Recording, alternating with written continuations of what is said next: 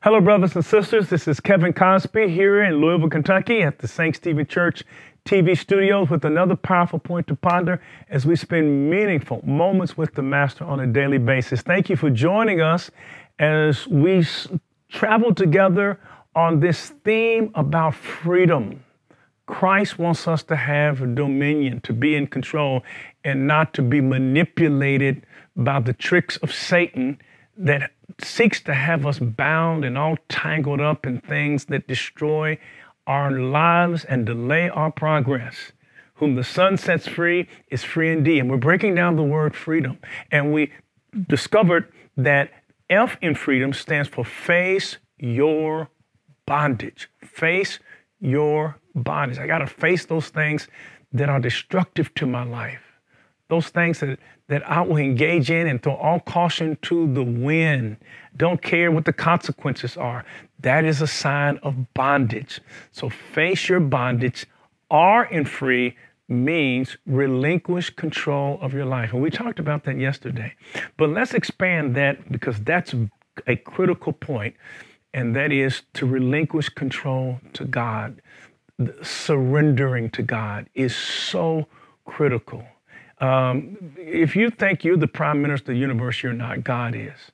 You have to relinquish control to God. Now, what does that mean? Well, we're going to look at the word recovery. And this is what it means to truly recover from something that has you bound. And we're going to look at what's called the Beatitudes. And these are, I think, um, fundamental to the, what Jesus taught and what it means to truly be a Christ follower. I think the essence of, of the Christian faith is found in Matthew chapter 5, chapter 6, and chapter 7. If you can can can embrace what's called the Sermon on the Mount, chapter 5, chapter 6, chapter 7, I think you've captured the very essence of what it means to be a Christ follower. But he has something called the Beatitudes. Um, these teachings um, that reflect the value system of the followers of Jesus Christ. And here it is, especially as it, as it relates to bondage. Here we go. We're going to spell out the word recovery. And the R means realize. What do I need to realize if I'm going to recover? Realize I'm not God. I'm not God. The poet said, I can't, you never said I could. God, you can, you always said you would realize I'm not God. Matthew chapter 5 and verse 3 says, Blessed are the poor in spirit. That means the humbled, which says, you know, I'm not as bad as I think I am. I've got a habit. I try to act like I got it together. I don't have it together. I, re- I realize I'm not God. That to, to be poor in spirit does not mean to be poor spirited. It means to be humble. It means to recognize that I need God. The E is this earnestly believe God exists and I matter to God. That I matter to God. I recognize I'm not God, but there is a God and I matter to God. Matthew chapter 5 and verse 4 Blessed are those who mourn, for they shall be comforted. In other words, you ask, God, do I matter to you? God says, I'm going to comfort you. I'm going to show you how much you matter to me. Earnestly believe God exists. C means this consciously choose to commit your life to Christ, His care, His control. Consciously, I'm consciously committing my life to God's care and God's control. Matthew chapter 5 and verse 6 Blessed are the meek, for they shall inherit the earth. The O in recovery means openly examine and confess my faults to God. God, this is my issue. This is what I'm struggling with. You know what it is. And the problem is not that God doesn't know what it is, God knows what it is. But we try to be in denial about what it is. And God wants us to come clean to Him, to openly examine and confess our faults to God. Matthew chapter 5 and verse 8 says, Blessed are the pure in heart, for they will see God. V means voluntarily, listen, Submit to the changes that God wants to make in your life. God's going to make some changes in your life. And usually, God makes those changes when you're in fellowship with other believers. That's why everybody needs to be a part of a small group like a Sunday school class so that you have an accountability partner. Voluntary submit to the changes God wants to make in your life. Matthew chapter 5 and verse 6 Blessed are those who hunger and thirst for righteousness, they shall be filled. God wants you to hunger. Hunger and thirst are desperate people. God wants us to be desperate to want to change.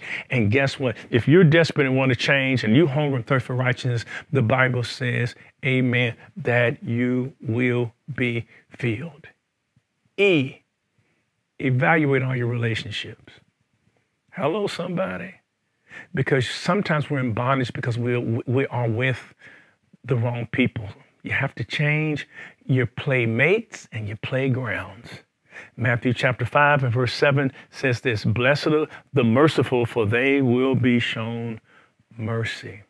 R, reserve time daily with God for prayer and self examination. So, God, how, how did I do today? God, I confess that I relapsed into something that you have delivered me from, something I surrender to you. Daily e- examine your life, celebrate your victories. Thank God for the times when you were able to overcome and God gave you the strength to overcome something that has been holding you in bondage. Matthew chapter 5 and verse 6 again says, Blessed are those who hunger and thirst for righteousness, and they shall be filled. And then finally, why?